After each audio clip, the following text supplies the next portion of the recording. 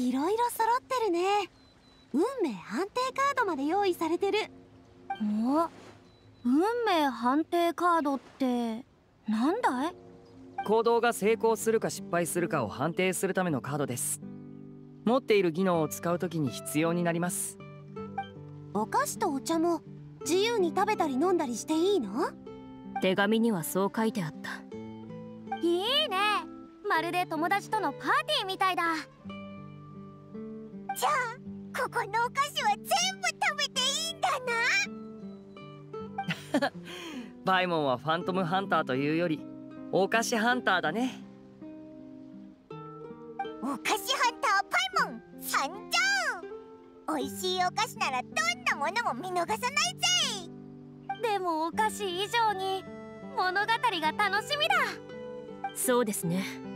そろそろ始めましょうでは皆まずは目の前の空白のキャラカードに名前と職業を書いてくれ。簡単な記入ルールはキャラカードの裏面に書いてある。わからないところがあったら直接私に聞いてくれ。今回のシナリオで皆の職業は全員ファントムハンターだ。クラブはあなたたちのために身分を証明する小さなバッジを用意した。それと職業のおかげであなたたちは最初から高い剣術と格闘の技能を持っている。そこにリソースを割く必要はない。剣術？戦闘もあるってことか？えー、っとおいらは単独行動に向いてないからやっぱりお前の助手をやるぜ。ではパイモンと旅人は1枚のキャラカードを使うか？ファントムハンターとその精霊の助手ということで。あんたたちにぴったりね。名前というのはキャラクターの名前かい？はい。好きなように名前を付けられます。別に本名を使ってもいいよ。新しい名前を考えるのが面倒な時はそうしてるしね。おお自分の名前で別の人生を体験するということかい？悪くなさそうだなら僕もリネにしようかな。次は技能の欄だ。限られた技能ポイントを使って様々な技能を習得できる。技能ポイントが高いほど対応する判定が成功しやすくなる。じゃあまずは説得と操作。これはテトシアには欠かせない技能なんだから。情報収集に使えそうな技能だなさすがベテランだぜ。じゃあ僕たちもこの技能を取った方がいいのかな？そうとは限りません。チームであることを生かして交渉が必要な時はナビアさんに任せるのもいいと思いますよ。そうすれば僕たちはポイントを他の技能に触れます。例えば僕は潜入と器用を習得するとしましょう。万が一交渉が役に立たないことがあってももう一つの道を選べますから。そこまで考えて選んでいくのか。劇団の役者みたいにみんながそれぞれの役割を果たしているんだね。そうだな。じゃあ僕は芸術と演技にしよう。役に立つかはわからないけど他の技能については詳しくないからうまく演じられないかもしれない。最後はオイラたちだな。旅人お前は何を習得するんだ？お前らしいな。料理ができたら大事な時にみんなの士気を上げられると思うぜ。みんなが怪我した時に治療してあげるのか？優しいな。どうする？この2つの技能を学ぶか？どれどれ。皆残りポイントで技能をもう一つ習得できそうだな。結構オーソドックスなのを選んだね。もうちょっと自由に選んでいいのに。また難題が出されそうな予感が。例えばえー、っと召喚？すごく神秘的な感じがしない？僕もさっきそれを見ていたよ。説明文は特定の場面でシナリオの設定に合ったキャラクターや生物を召喚できる。ファントムハンターに召喚されるのってどんな生物なんだろまあそれは私たちが心配してもね。興味があるなら選べばいいと思うよ。どう解釈するか考えるのはゲームマスターの仕事なんだから。よ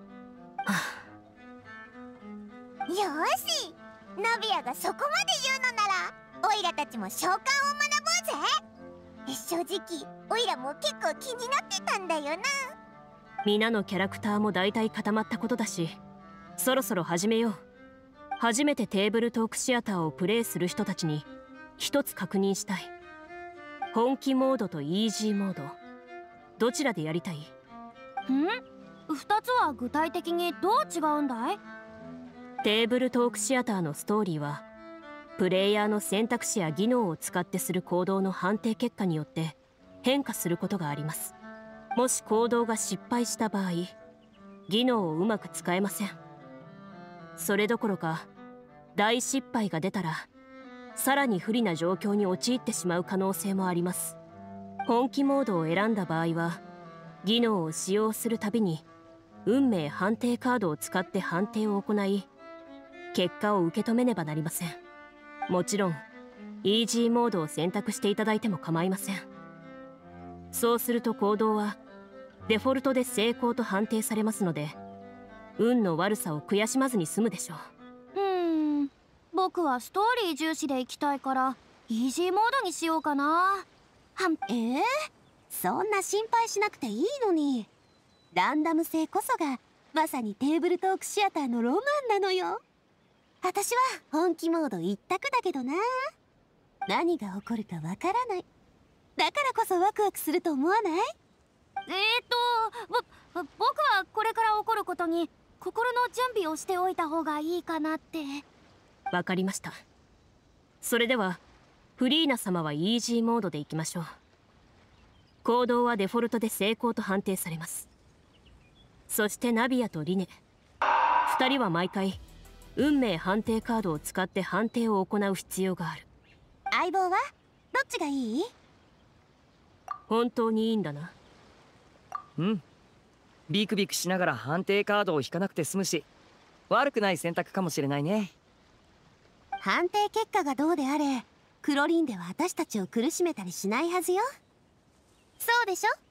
どうかな？え？クロリンでのその返事全然安心できないじゃないか。大丈夫大丈夫。さ早く始めましょう。今日はストーリーをいっぱい楽しみたいのところでどうして1日目は海辺なんだい？それははるか昔人類の文明がまだ発展していなかった頃世界を支配していたのは悪魔と邪悪な魔法使いたちだった。彼らはさまざまな魔物を作り上げては人々を虐げた。やがてそれに抗う者たちは集結していった。剣を手にし魔物を暗闇に葬ることを誓った彼らはファントムハンターと呼ばれる。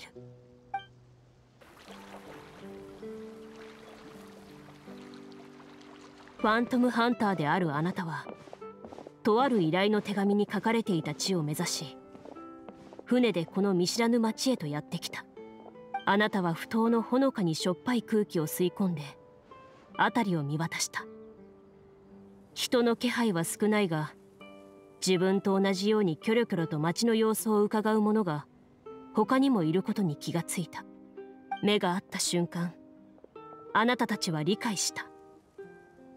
彼らは同じ依頼を受けてここに集まったファントムハンターの仲間なのだと。みんなファントムハンターよね。まずは自己紹介をさせてちょうだい。私はナビア。普段は魔物の討伐だけじゃなくて近所の人たちを手伝ってちょっとした商売をしてるの。一緒に行動するのはどう？何かあればお互い助け合うこともできるでしょ？ああもちろん構わないよ。僕はリネ。幼い頃からあちこちを放浪してたからトリックをいくらか知ってる。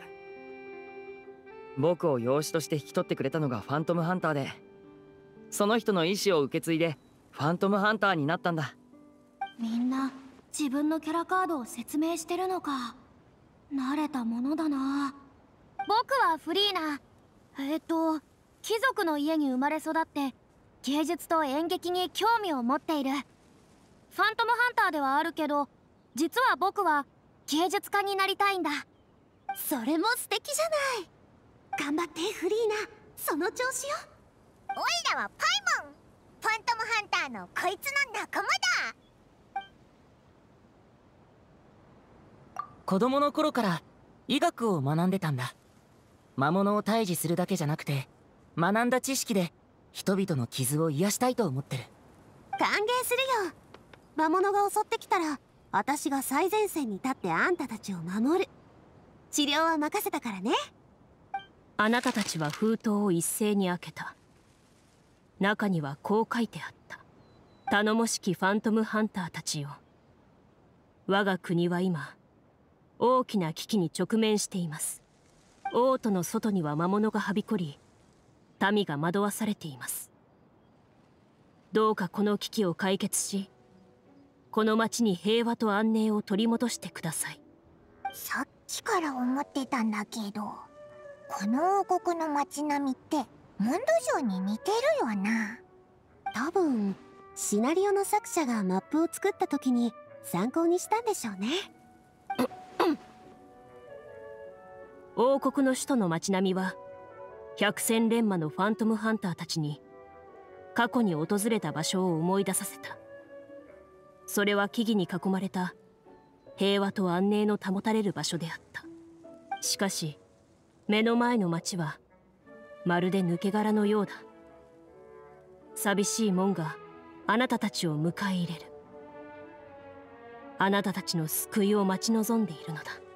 手紙の内容を一字一句逃さずチェックして署名欄を確認してみたけど依頼を出したのは一体誰なんだろう。すると見知らぬ名前が並んでいるのを見つけた。どうやら町の住民たちの共同署名のようだ。彼らはここの異変に気づき外に助けを求めたのだろう。じゃあまずは町を見て回って住民から情報を聞き出してみるのはどうだい？いいね。魔物や悪者の手がかりも手に入るかも。改めて町を見渡すとすぐ近くに酒場を見つけた。ちょうど営業中のようだ。とりあえずあそこに行って聞いてみるのはどうだい？小説の世界では酒場は決まって情報の行き交う場所だからね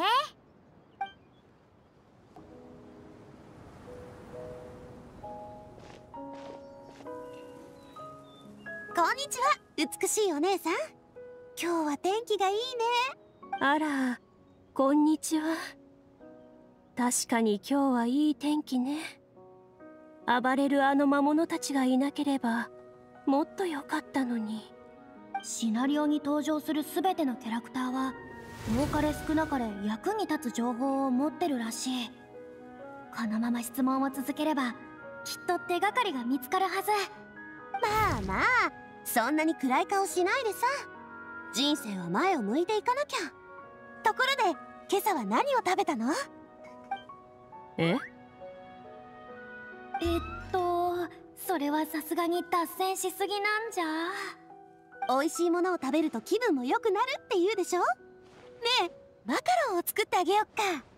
君そもそも調理できないだろ。うあいえ遠慮しておくわあなたも料理ができる人には見えないしそれに甘いものはあまり好きじゃないから。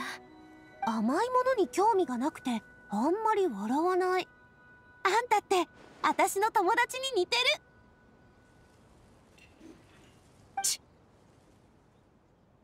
え？この人今舌打ちしなかった？多分クロリンデの心の声だろうなこのままじゃ何も進まないぞ。旅人なんとかしてくれ。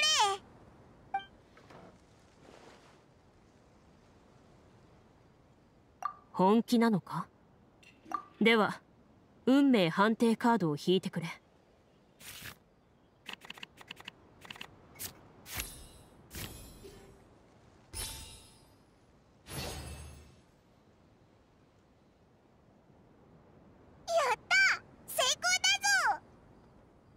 みんなに注目される中あなたは黙々と鍋を用意し火を起こした。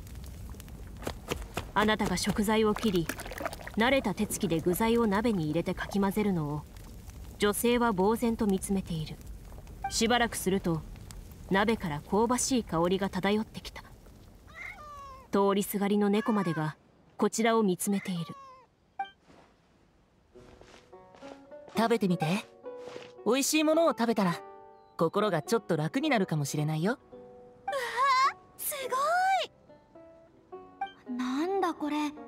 ケトシアでは判定さえ成功すれば何が起きてもおかしくないのか。ありがとう。は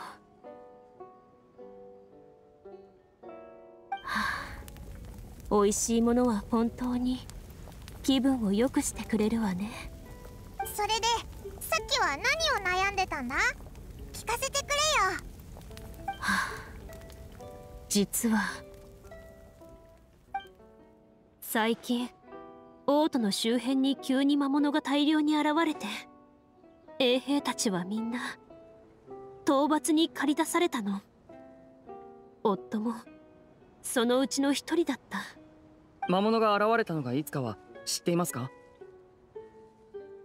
さあ夫が派遣されたのは3日前ってことしか。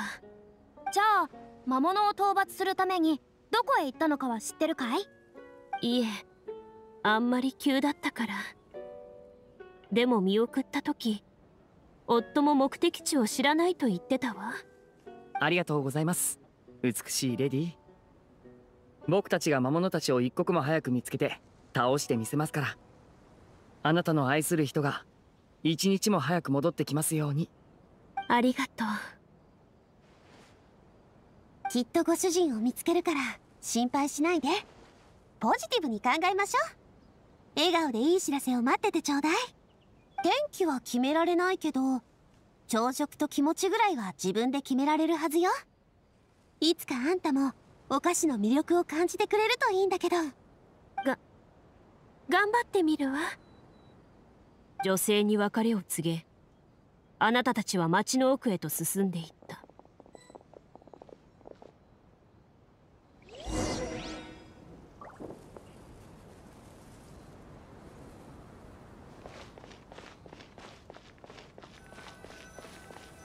閑散とした町の通りであなたたちとすれ違ったある老婦人は首を横に振りながら空っぽの財布をしまった。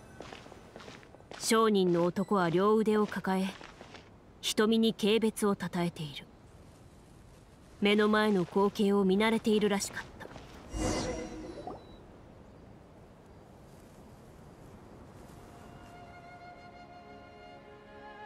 あんまり友好的には見えないけど商人っていろいろと情報源を持っているものだよね。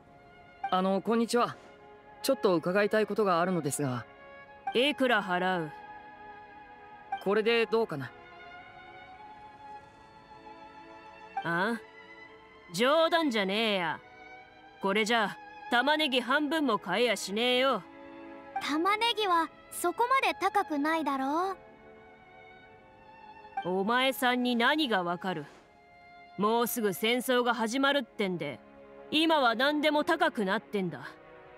買う気がねえならさっさとうせなうわ気が荒いな。おいら話したくないぞ。でも何か情報を握ってるかも。旅人あんたはどう思う？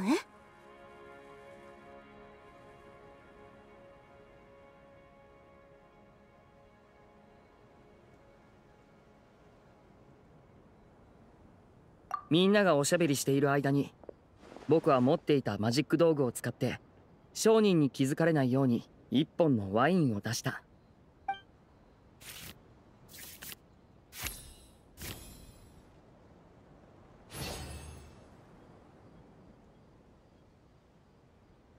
ちょっと落ち着いてくださいよ。ほらここに上質なブドウで作られたワインがあります。ここに置いておくので時間があったらちょっと試してみませんか？え？このワインは食事にぴったりなんです。夕飯の時にゆっくり味わってみてください。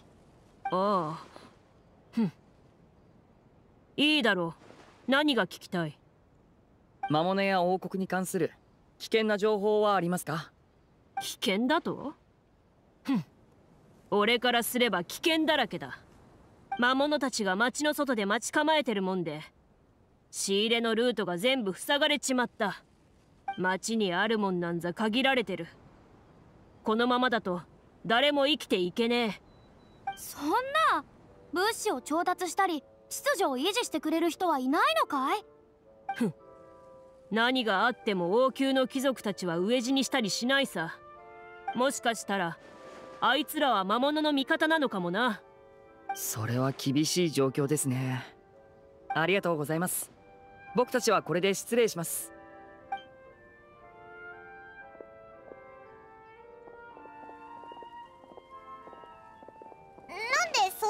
撤退したんだ。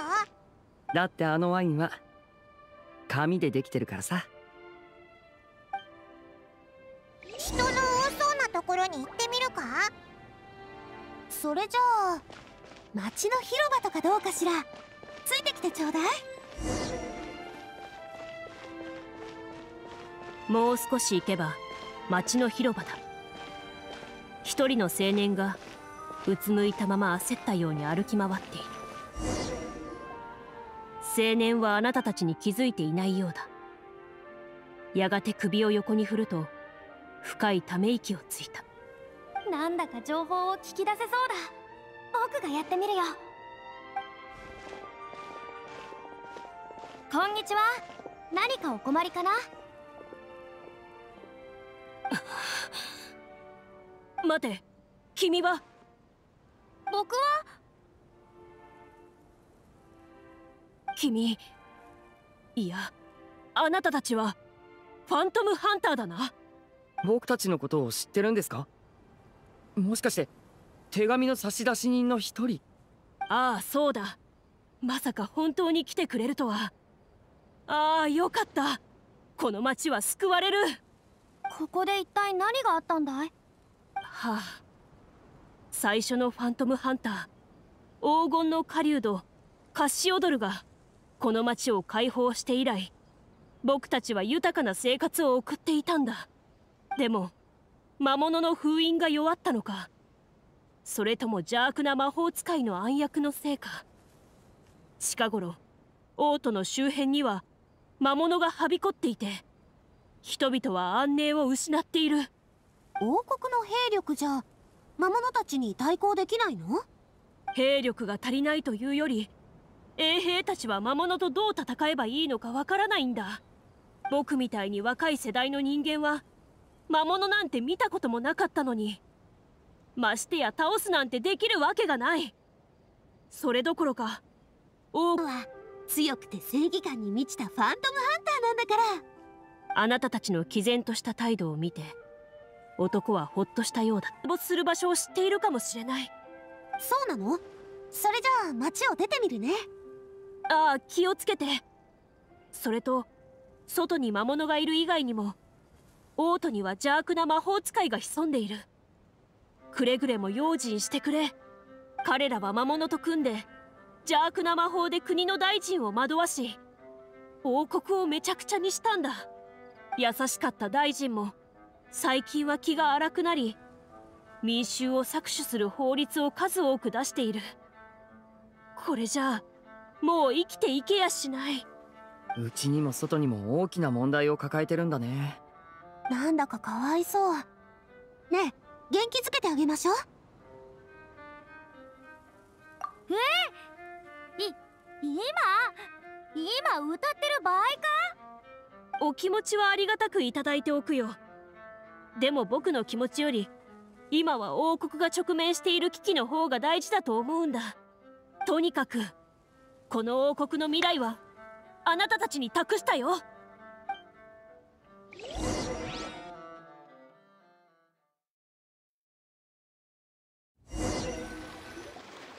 得た情報を照らし合わせると僕の理解が正しければこの王国は解決すべき問題を2つ抱えているってことだよね。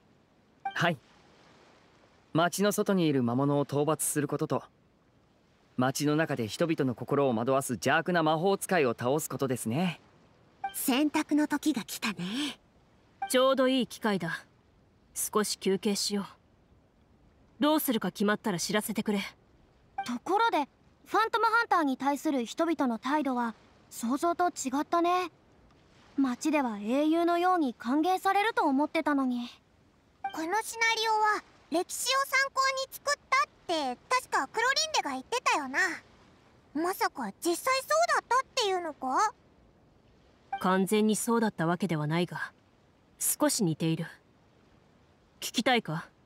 ネタバレなしなら前にちょっとだけ聞いたことがあるけどどの話も断片的だったからね。オイラも聞きたいぞ。ファントムハンターがすごく強いってのは知ってるけど何か特別な生まれだったりするのか？例えばえっとあ稲妻の妖怪の血筋みたいな。いやファントムハンターは皆普通の戦士だ。唯一の共通点は数百年も受け継がれてきた特殊な剣技だけだ。え？つまり誰でもファントムハンターになれるってことか？理論上はそうなるだろう。厳しい訓練を経て魔物と戦うための剣術を身につけさえすればただ大半の人は基礎を学ぶ段階で諦める。それどころか魔物を目の当たりにし恐怖のあまり立ち直れなくなった者もいる。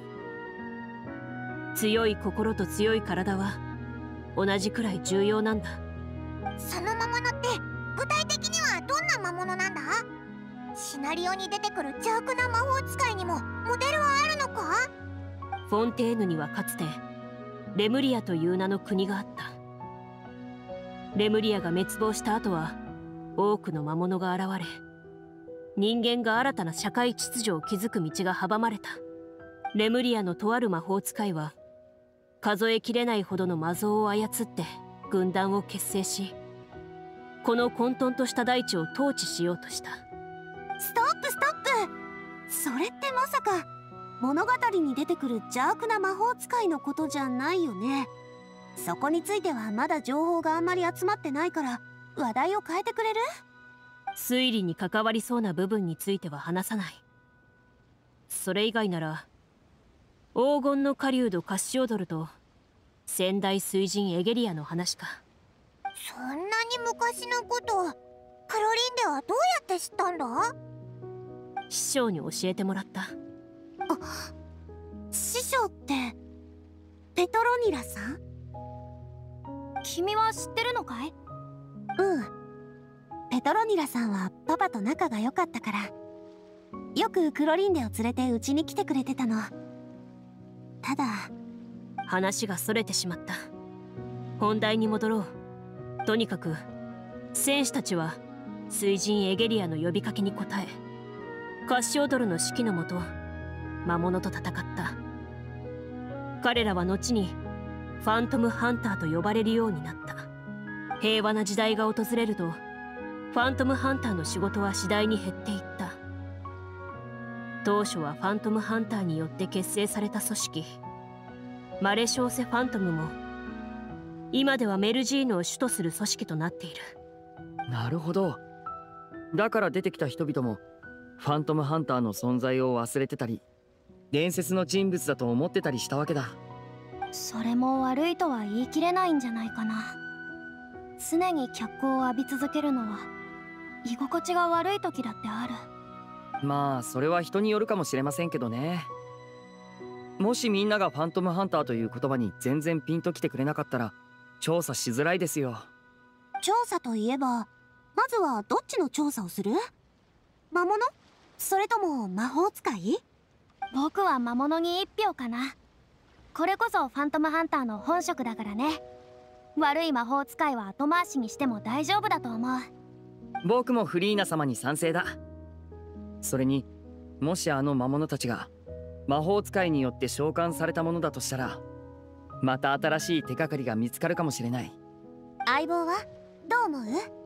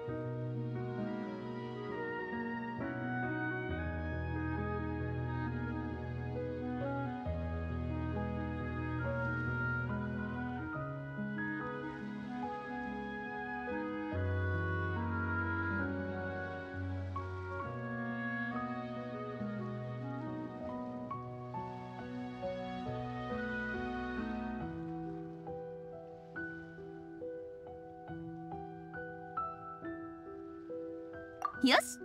じゃあ決まりね。数人のファントムハンターたちは話し合った末町の外へと向かった。じゃ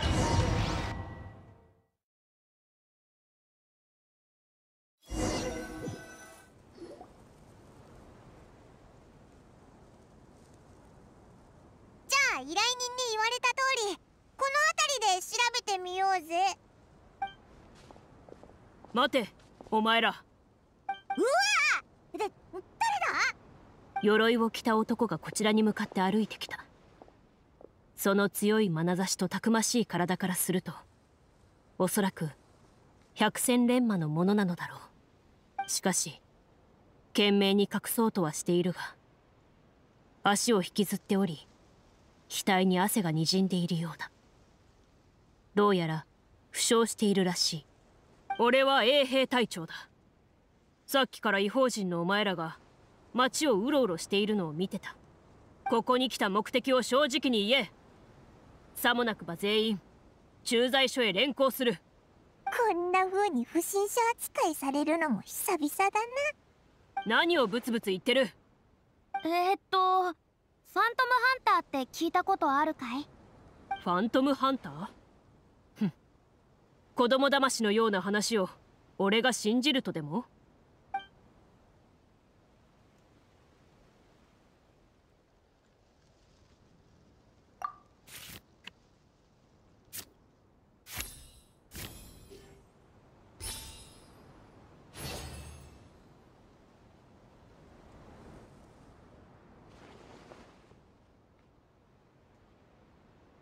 医学の知識があるあなたは男の足の怪我が魔物によるものであること。そして傷口がすでに炎症を起こしてしまっていることに気がついた。男俺は医者だ。薬を塗り替えよう。もう我慢しなくていい。図星を刺されて男は微妙な表情をしたがやがて我慢をやめおとなしく足を上げてあなたに見せた。あなたの言う通りに特効薬を塗り直すとだいぶ良くなったようだ。男の眉間のシワが和らいだ。いいだろう。あんたらは本当に伝説のファントムハンターなのかもしれん。少なくともあんたらは傷を癒す方法を持っている。それで何が聞きたい？魔物がどこにいるか知ってるか？あと衛兵たちはどこに行ったんだ？彼は魔物が現れた場所をあなたたちに教えるとしばらくその方向を苦しげに見つめた。まるで形のない細い糸が彼の傷口に絡みついているかのように。新米衛兵の中には盗賊にすら遭遇したことがない者もいる。はあこの足の怪我さえなければ。落ち着いて。その傷じゃ休んでた方がいいよ。魔物は私たちに任せて。これがファントムハンターの仕事なんだから。その言葉を聞いた彼の瞳に希望の光が宿ったがそれも一瞬で消えてしまった。あの魔物たちは手強いぞ。だがどうしても行くというのならもう止めはしない。衛兵たちが無事家族に再会できるといいんだがあんたらの幸運も祈ってるよ。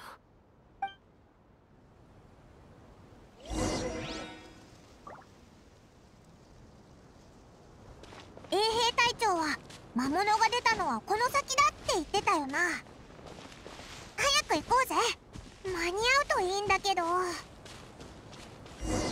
道の途中であなたたちは衛兵らしき人たちが道端に倒れているのを見かけた。皆一様に恐怖と絶望に満ちた表情を浮かべている。無意味に叫んだり怒鳴ったりする者もいる。どうやら見たものを頭から追い出そうとしているようだ。倒れていた負傷者たちが信じられないといった表情であなたたちを見上げた。そして彼らは叫んだ。早くここから逃げろ！絶対に振り返るな！先に進んでもこれ以上の情報は得られそうにない。今はそこへ向かうべきではないとファントムハンターたちは考えた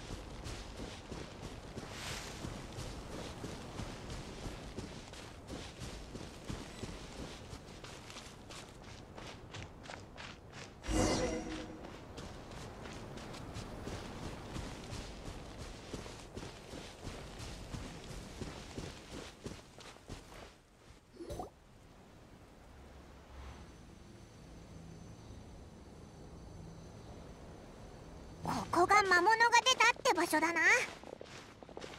辺りにはボロボロの鉄の剣が散らばり折れた木の幹には恐ろしい爪痕が残っている。その全てがここで激しい戦いが繰り広げられたことを示唆していた。みんな気をつけて。魔物たちはまだ近くにいるかも。言い終わらないうちに周囲の低木からカサカサという音が聞こえてきた。魔物が姿を現したのだ。魔物たちがあなたたちに近づいてくる。血を渇望するその瞳に映るあなたたちはまるで自ら寄ってきたスウェーゼンのようだ。助けてくれ。オイラを食べないでくれ。そして戦闘が始まった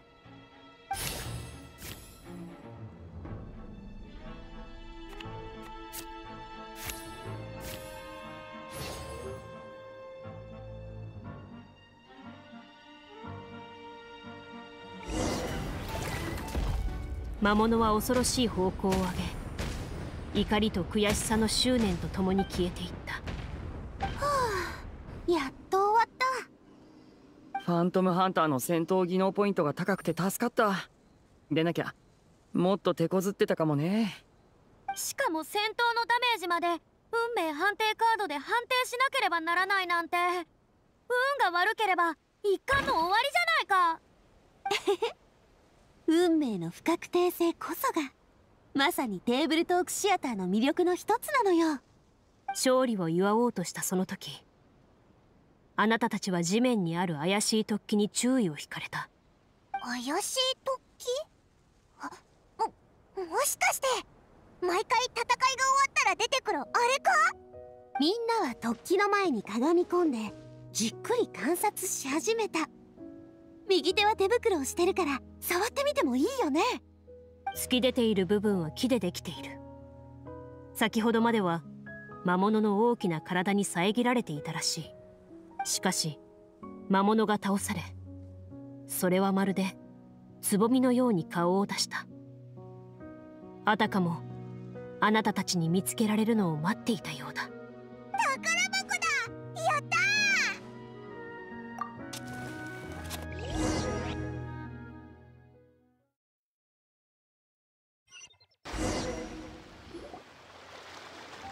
あなたたちは力を合わせて土の中から木の箱を掘り出した。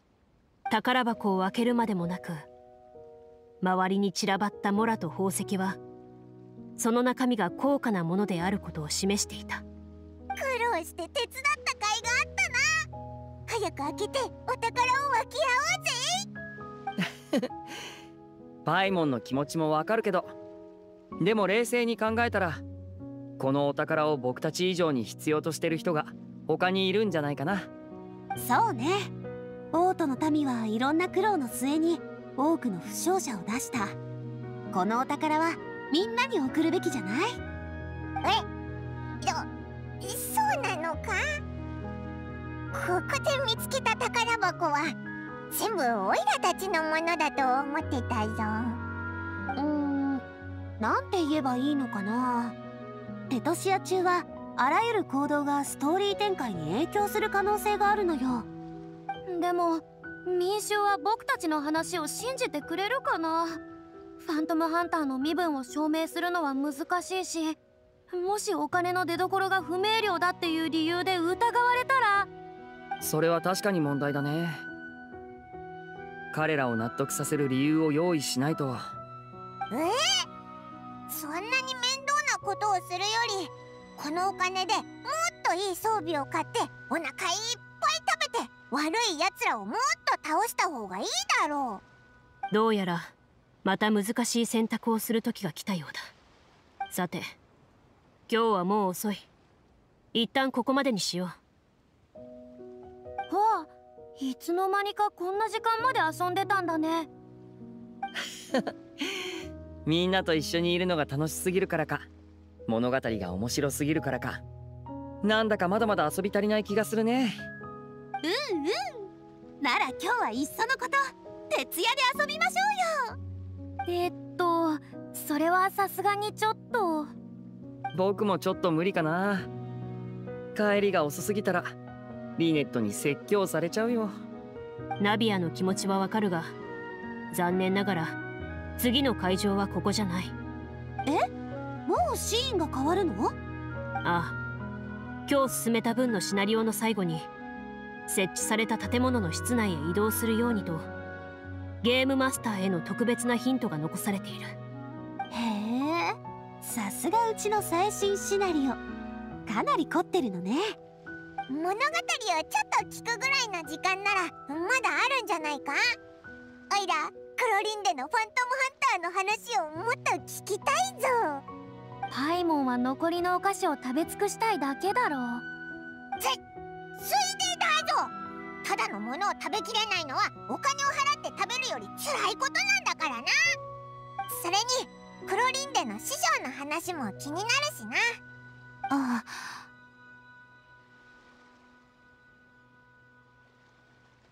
大丈夫だ。気を使ってくれてありがとう。もう昔のことだ。話しても構わない。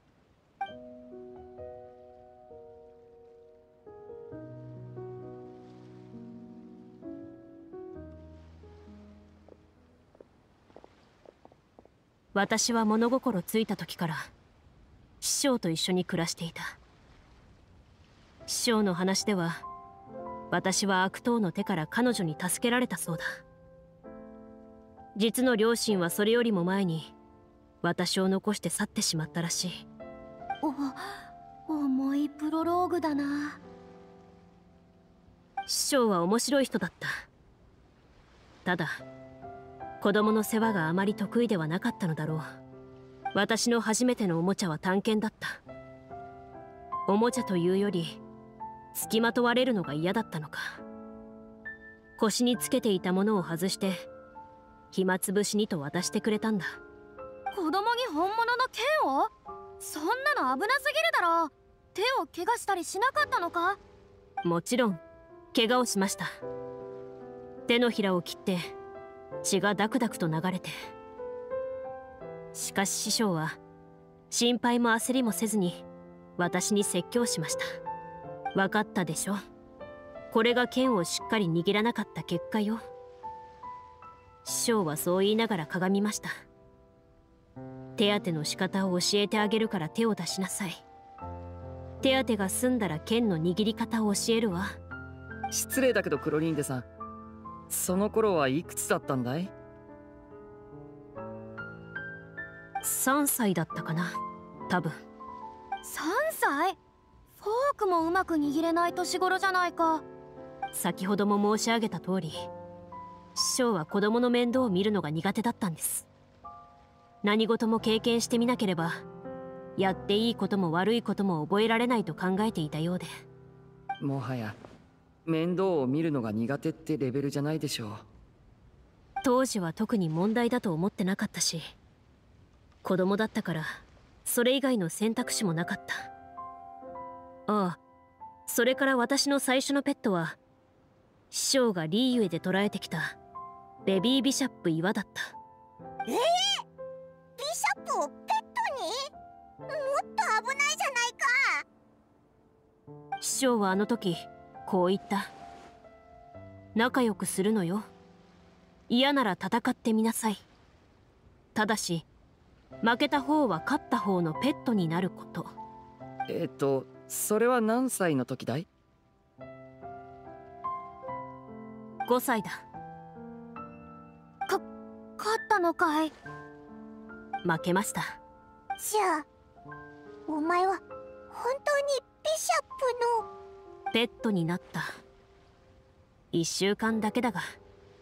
1週間後に任してそれからはずっと悪くない仲だった私も次第に理解していった。もしかすると師匠は他の教育方法を知らないだけなのかもしれないと。師匠はファントムハンターだったがご両親の話は一度も聞いたことがなかったから。師匠のおかげで私は6歳で道に迷わず森で狩りができるようになり7歳の頃には一人で魔物を倒せるようになっていた。訓練の時は厳しかったが時間があれば私を旅に連れて行き友人たちにも紹介してくれた。カーレスさん一家との出会いもあの頃のことだった。初めて会った時はペトロニラさんの後ろに隠れてたよね。ピクニックに参加することにもためらってたの。未だに覚えてる。あの時は同じ年頃の子供になんて会ったことがなかったからどう接すればいいかわからなかったんだ。でもその後あんたはよく遊びに来るようになって他の人ともよく射撃で遊ぶようになったんだよね。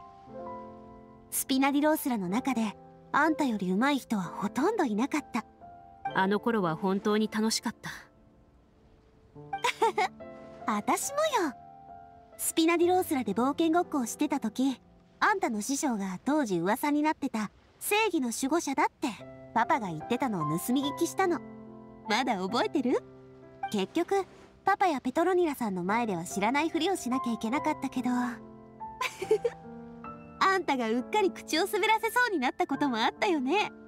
正義の守護者？20年前頃に夜な夜な活躍してたあのヒーローのことかい？ええあれはおそらく師匠だったんでしょうよく黒いマントを着て出かけていましたから。あの夜カーレスさんの口から真実を知らされるまでどこへ何をしに行っているのかは知りませんでしたが。あの頃警察隊がよく彼女に関する目撃情報をヌビレットに届けてた。僕も覚えているよ。申し訳ありません。えっと別にクロリンデが謝ることじゃないだろう。君の責任じゃないんだからそれに彼女がしたことは全部いいことだった。秩序を守らない人が秩序の守護者を名乗るのはさすがに自由すぎるんじゃないかとは思ったけどね。あれ正義の守護者じゃなかったのか？どっちも彼女さ。毎回聞かれるたびに適当に思いついた通り名を名乗ってたんだ。そのうち考えるのも億劫になったのか正義の守護者と秩序の守護者という2つの通り名が定着していった。師匠らしいですね。きっと家に帰った頃にはその日どちらを名乗ったのかも思い出せなかったでしょう。面白い方だったんだね。そして正義感がとても強い。クロリンデさんもさすがその人の弟子って感じがするよ。私も師匠のような人になりたかった。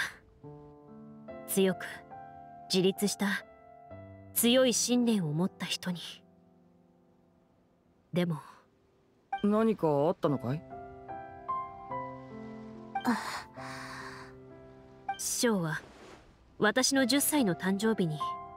突然失踪したんだ。失踪？一体何があったんだ？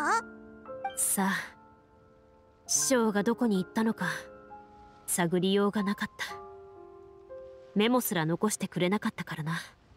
あの夜私はナビアの家で誕生日を過ごしていたがいくら待っても師匠は迎えに来てくれなかった。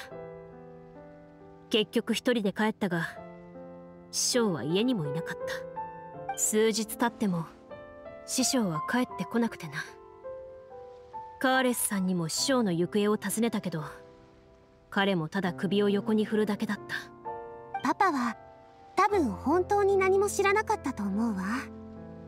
裏で誰かに調査させてたけど価値のある情報はなかったみたいだったから。ああ。それは師匠らしい行動だと言えなくもない。思い返せば師匠はおそらくそれを機に私を自立させようとしていたのかもしれない。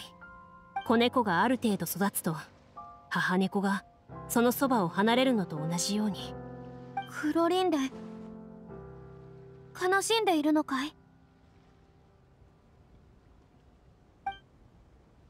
最初の頃はそうでしたが今はもう大丈夫です。師匠は理由もなく姿を消したりはしないはず。きっとやるべきことがあったんでしょう。その後お前は師匠の背中を追いかけて法律と正義の象徴フォンテーヌで一番強い決闘代理人になったんだな。師匠がこんなルールだらけの仕事をするわけがない。わがままな人だったからな。ただ確かに多少なりとも彼女の影響を受けていたことは事実だ。